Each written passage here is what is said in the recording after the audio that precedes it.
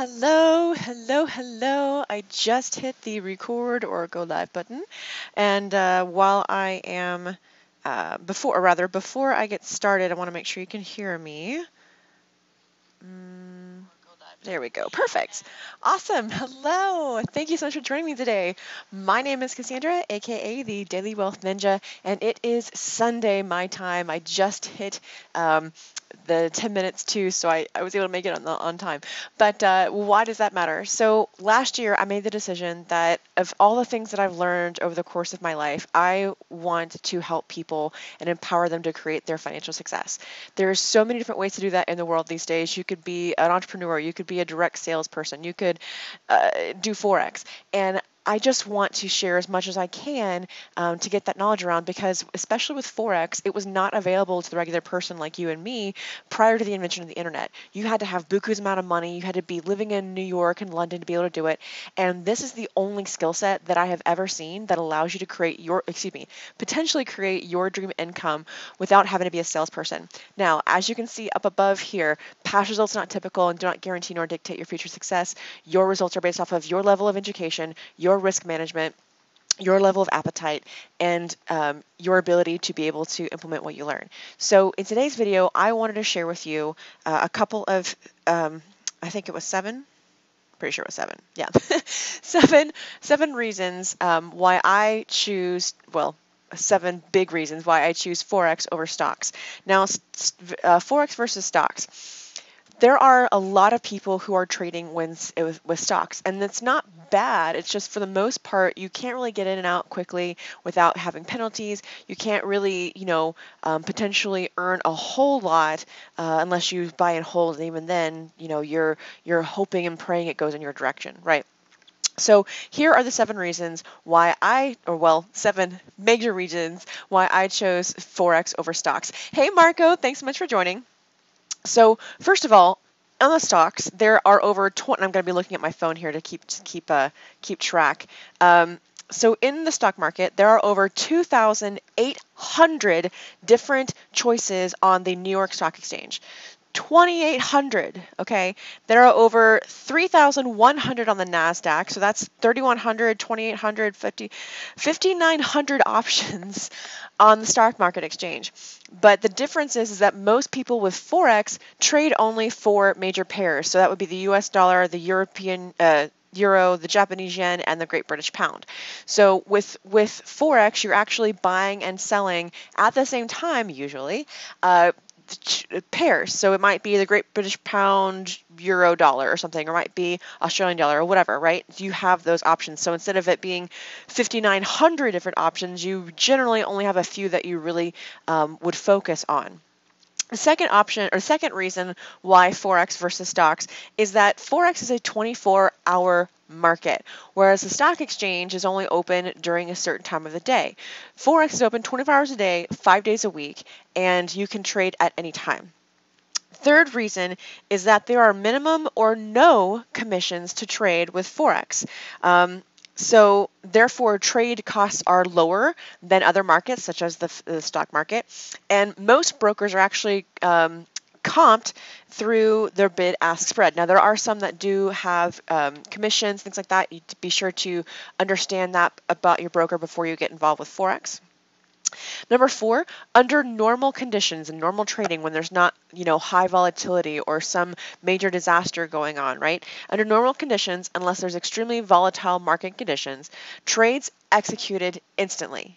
So that means that it's real time um, streaming prices, and so you're not waiting or it might not it's it's not going to change um, in a few minutes because you have to go through whatever for for for stocks it is immediate transactions unless there's some again some outlying factor number five when you're short selling there's no uptick so in stocks you have to there's other rules for stocks with with shorting um, but with forex your trade opportunity exists because each trade uh, involves buying buying one currency pair and selling the other. And I've, I've gone over this in other videos, so if you're not quite unsure how that works, please let me know or be sure to check out my YouTube channel.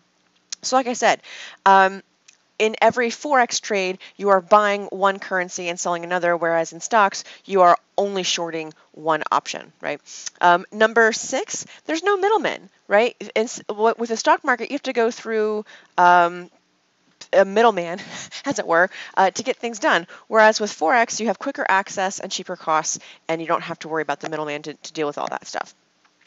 All right, um, numbers. There's there's actually two to this, but I, I kind of lopped them into one. So first of all, um, the buy sell programs uh, do not control the market. So for example, you might hear of a company or something buying a particular um, uh, stock, right?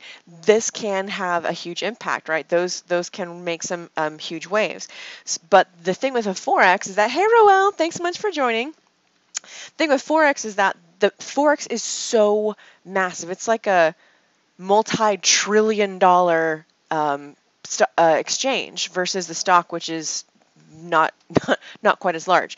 All right. So this massive size of forex market makes the likelihood of any one particular fund or bank controlling the currency very very small. Okay, and then this last one, which I said is kind of lopped into number seven, is that the analysts or brokerage firms are less likely to influence the market, right? They're, they just are because of how big it is and um, um, all, the, all the different players involved and things like that.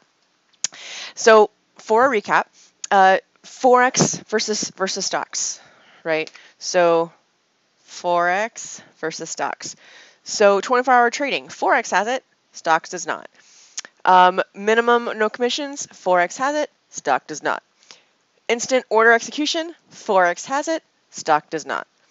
Short selling without uptick, Forex has it, stock does not.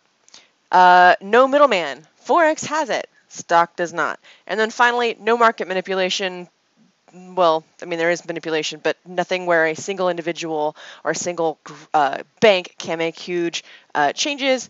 Uh, Forex has that, uh, stocks or not. So that's what I wanted to share with you today. Thank you so much for joining. If you liked what you heard, there should be a link above below this video for you to join my free group. I also have a five-day Forex Basics Bootcamp for free. Just send my Facebook page, Daily Wealth Ninja, this message right here, 5DBC, and my messenger bot will send you information on how to get that information and um, as well as join my, my group. Now, I am only able to do this at least once a week at this point. I have a full time day job as a programmer. I have a business as a digital marketing coach, and obviously, I'm doing Forex as well. So, if you want to really minimize your learning curve, you have to not only become educated, but also get involved with a group of people you can trust. And that's why I am so grateful that if um, someone introduced me to the the um, system that I use to not only build up my own knowledge, but also help others along the way. If you are looking for someone, or excuse me, for a system that not only teaches you about Forex and crypto if you're interested, but teaches you about Forex, um, gives you the tools with which to find those trades, and over 60 plus hours every single week live mentoring, and, and, and, a community, right? If you're looking for something like that, go ahead and hit me up. I'd love to share with you exactly what it is that I'm doing and how I'm able to get this type of information. Because, like I said, this was not available to the regular person before the before the invention of the internet. Most people don't know about this, and that's why I've made it my mission to start sharing what I'm what I know and what I'm learning, so that you have the opportunity to create your own success. So, again, thank you so much for watching. My name is Cassandra. If you like what you saw, please be sure to turn on the live if you're on Facebook, or hit the subscribe button um, somewhere around here with a little bell to be notified of the next time I go live. So again, thank you so much for watching. Have a wonderful and prosperous rest of your day, and I will see you on the next one.